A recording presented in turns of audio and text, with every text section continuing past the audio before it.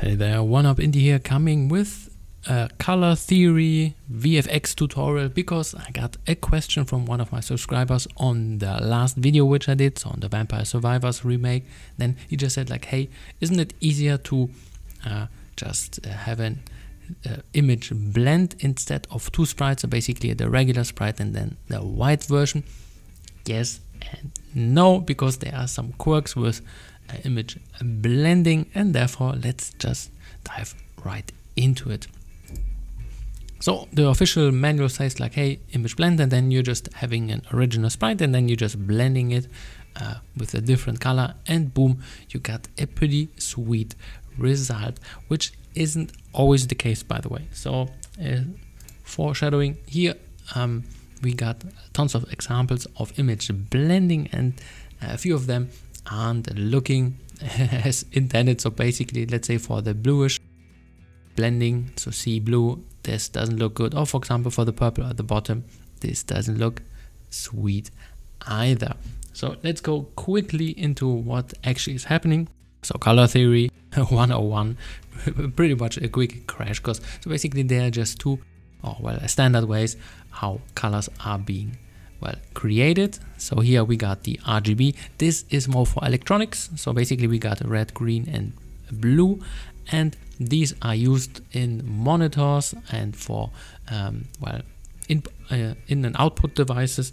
And therefore um, this is the electronic world where we are just using most of the time RGB values. And for example your monitor is using RGB also. So here um, you got some crystals which are just lighting up. This is how that works. And the new on the flat screens, at least the latest technology, and then they're just lighting up one of those colors with a specific luminosity, so lightness, and then they are creating an end result color. And then, for example, the total result is, if you blend RGB together, it's white. And for example, there's the negative version, which is C Y, uh, CMY and then K, which is then having a blackish color. So here once again, this is for our electronics dudes and this is for our print dudes, which are doing posters and things which are being printed out on paper or on what kind of ever uh, stuff you want to do. And just for explanation, uh, RGB I guess should be uh, pretty easy to understand. So red, green and blue, but here you got the yellow, this is magenta and this is cyan. And these colors are basically two colors together. So for example, um, what is that? Magenta is red uh, 255 max and then blue 255. So for example, if we just go with one, then we got complete blue. So this is how these things work. And then if you're just wondering, but I see three colors, but four letters. Yes, because in theory you can merge them together and print a nice black color but this will very unlikely happen in the real world and therefore you got K uh, or which stands for key or could be just well just a black cartridge where you're just adding a black color to make it darker or even a, in quotations perfect black. But you never get a perfect black by the way. So this is the thing which is very difficult to achieve and therefore they just throw in the black in the mix. This is the color theory. Let's go back to the uh, question and now hopefully the answer to you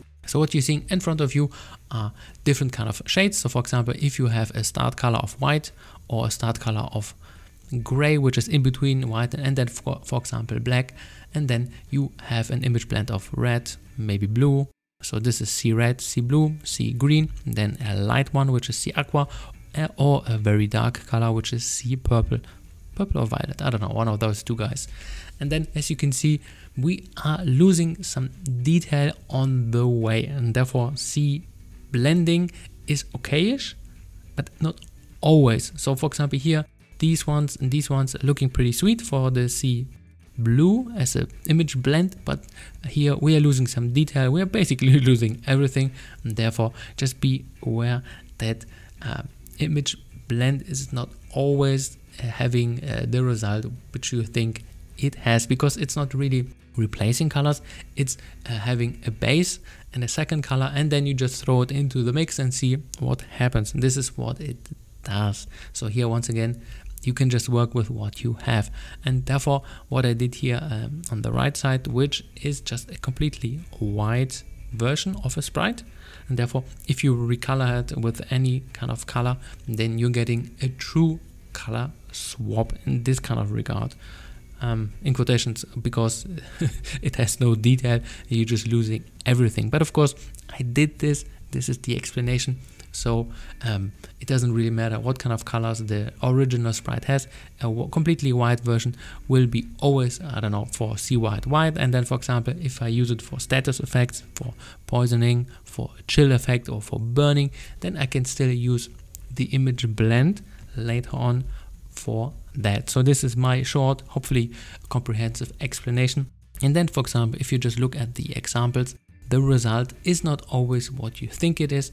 And therefore if, for example if you have very light colors so here with the mushroom dude or the water spirit whatever then the blending is working pretty fine through all uh, through all of them. Of course it's better to have a lighter blending color. For example here red is very harsh and here a light bluish color which is closer to to white has having a let's call it a neater result in the end. And therefore, for example, here you could use C lime or here uh, C aqua and then for red. Is there actually a red light version? I don't even know.